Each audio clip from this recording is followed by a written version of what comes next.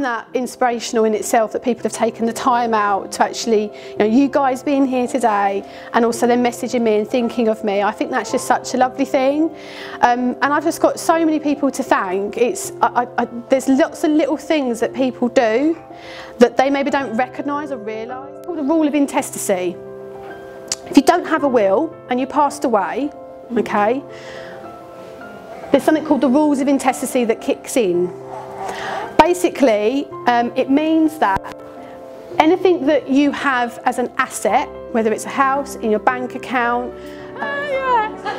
I spend too much, she said. I don't do the right things with it. And, you know, she's sitting there in quite an affluent position. And even she, it's almost like once you get to that point, you actually even feel more uncomfortable with money. Okay, so it doesn't matter where you are in your financial journey, you have to learn and educate yourself. And actually, the more money you have, the more you need to learn.